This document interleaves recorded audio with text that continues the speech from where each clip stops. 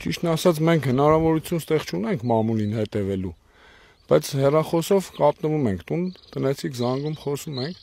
Հիմա կանջովել է հասա նման բաներ, որ ինչ որ չգիտեմ, ասենք չեմ անուններ չգիտեմ ովքեր են, բայց կոչ եմ անում նման մարդկանց նման տիպի թափթփուկ խոսակցություն անելու փոխարեն թող գան իրանց աշկով տեսնեն ստեղ ինչ է կատարվում։ Եվ հայազգին կոչ եմ անում ոչ մի տես բաների չլսի։ Որտեվ այսօր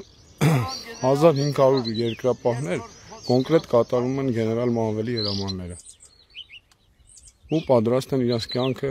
մեկ անգամ տվել են, մեկ անգամ էլ պատրաստ են տալու։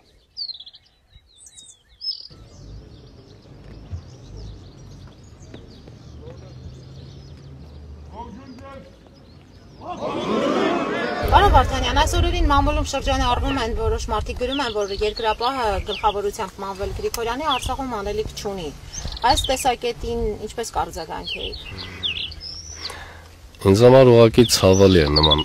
հարցադրում նույնիսկ լսելը։ Էլ ինչ որ նման մամուլում նման բան է շրջանառվում, մի խոսքով կարող եմ ասել դա դավաճանություն է։ Ուղղակի դա երևի թուրքի պատվեր են կատարում չեմ կարող ասել։ Ցավալի է ինձ համար հարցը լսելը։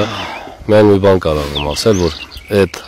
հարցին զինվորն ինքը պատասխան կտա, թե երկրապան այստեղ անելիք ունի, թե ոչ։ Այստեղ շատ անելիք կա։ Նման բան գրողին ես խորհուրդ կտայի գար դիրք, Այստեղից նման բան գրել, եթե կարողանար գրել, եթե ձեռքը գնար նման բան գրելու, թող այստեղից գրել։ Չեմ ուզում վիրավորական խոսքեր ասել նման մարկանց ասցեին այլ բան, քան դավաճանություն չեմ կարող ոնոթագրել։ Շատ լավ։ Մենք հիմա կլսենք նաև զինվորին, ինչպես ասացիք։ Երկրապաներն է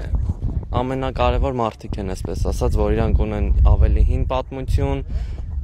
քաչ ծանոթ են սահմաններին, այս դիրքերից որոշ մասերը հենց իրանք են ազատագրել թշնամուց ու փորձառու մարդիկ են։ Ղարաբաղցիներից 5-ից 3-ը մավել։ Որ երբ